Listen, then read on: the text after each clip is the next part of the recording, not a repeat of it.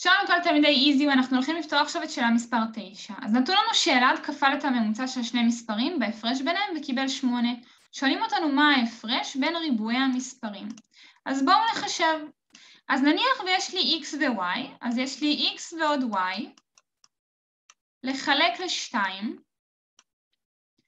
כפול x מינוס y, וזה שווה לי ל-8. אז בואו נראה מה בעצם אני מקבלת כאן, אם אני כופלת ביניהם. אז אני מקבלת x ועוד y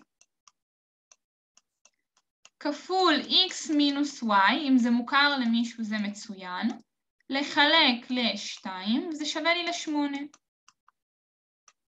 אז אני אכפול את זה פי 2, ותוך כדי אני מסתכלת ואני רואה שרגע, זה מזכיר לנו את נוסחת הכפל השלישית. שבעצם אם אני אפתח את זה תיתן לי x בריבוע מינוס y בריבוע שווה ל-16. ומה ששאלו אותנו זה מה ההפרש בין ריבועי המספרים.